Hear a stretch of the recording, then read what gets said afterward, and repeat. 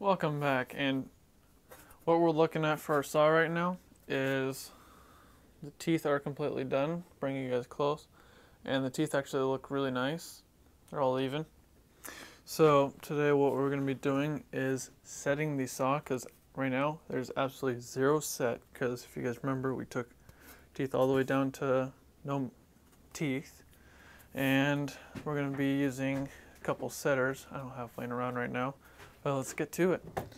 Alright, so here's what we're looking at for setters. And this one goes up to 10 points per inch all the way down to, let's see, it's 1 points per inch.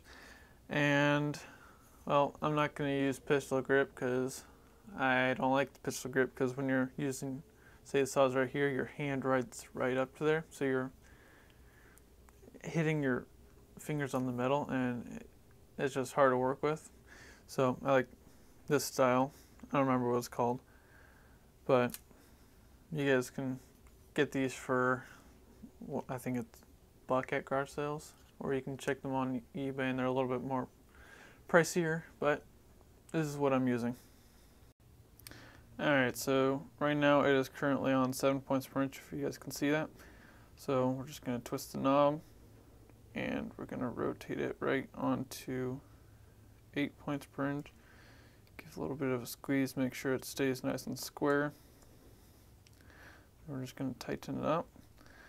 You're going to have to start releasing. Oh, come on, focus for me. You're going to have to start releasing your grip and keep on twisting and double check. So it's good right now. So it, the plunger's good and everything. It's all tight, ready to go. Alright, so I'm to grab my saw and what I'm going to do is I'm to have keep it up about inch to two inches right here. You guys have seen me do this plenty of times. And we're going to clamp it. And I'll bring it close.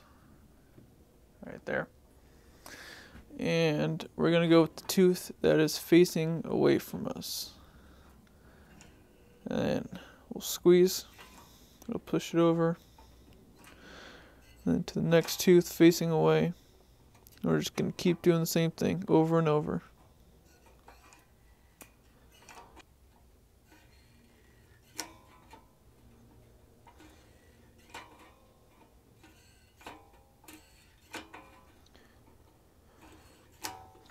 So if you guys are watching, I'm skipping every tooth and the reason I'm doing this is I don't want to have to come on this side and lose my track each time. So I'm just going to go on one side and then I'll switch over to the other side and I'll do the exact same thing. And this process, honestly, doesn't take long. It's the easiest process of all. Can't really screw up on it. If you push the wrong tooth, you can always just push it the other way well, not always, because it might break the tooth, but still. This process should honestly only take about five, seven minutes. If it's a really fine tooth, like 12 points per inch, 15, I'd say 10 to maybe 15 max should never take more than that. I'll just keep dragging you guys along.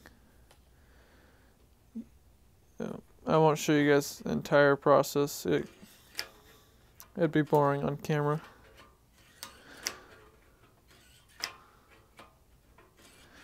Alright, so that's all I'm going to show you guys. Right there. I can't express to you guys how important it is to have good lighting. So right now, this is all my shop lights on, but what I'm going to do is turn light on my camera. It's a external light and makes everything better. So if you guys have tripod and a light, you can do what I do and is set it up on the tripod and you'll have a good light source. Just throw the light on top of your bench with the tripod, like I'm doing right now, and it works great. So, highly highly recommend them. And I'll put a link in the description if you guys want for the one I'm currently using. It's actually super cheap. I got the batteries for it so I can recharge because if I was to use just regular AA batteries. Well I'd be burning through them a lot. It's it takes eight AA batteries and from my understanding it's ooh I want to say three hours battery life. So if you go with I'll even show you guys just give me a second. The batteries I use. It's brand. Neewer. I'm probably butchering the name. And it's not focusing for you guys. Yeah, it says great. But it's just these batteries. So I can put them in and just put a phone charger in and it charges it and it's smart so it'll turn off smart but supposedly it'll turn off when it's done charging. But these batteries last me I think it's five hours if that's my luck so far. So if you guys want go check the out. And you don't need a good tripod with it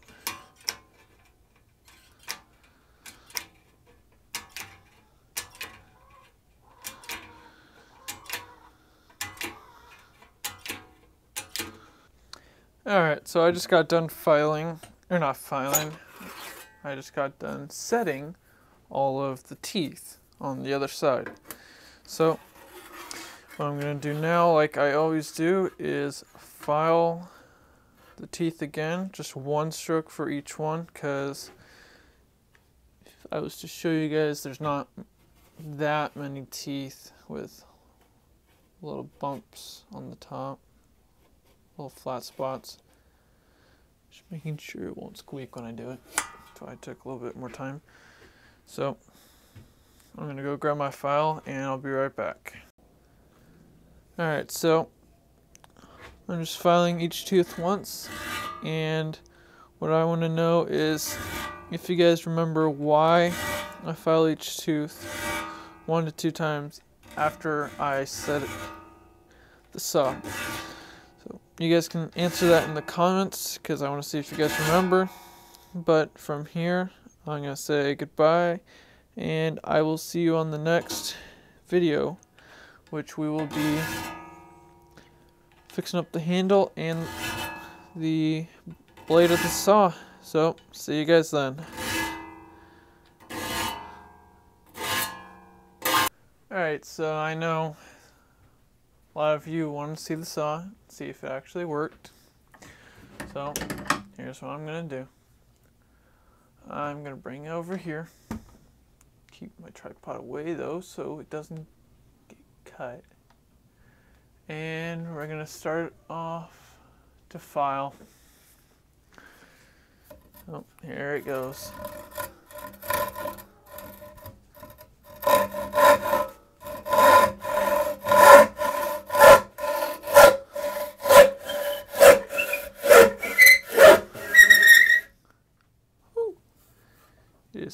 Squeaky. The blade needs to be restored.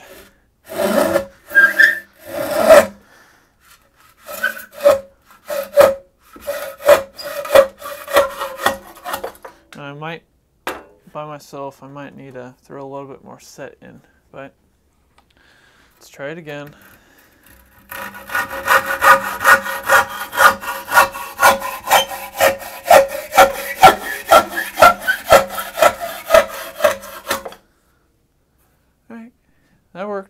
Pretty good.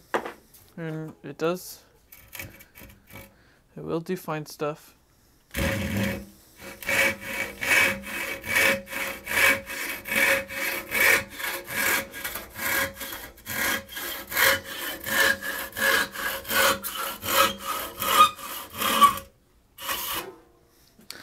Alright, so minimal tear out. And I was actually decently.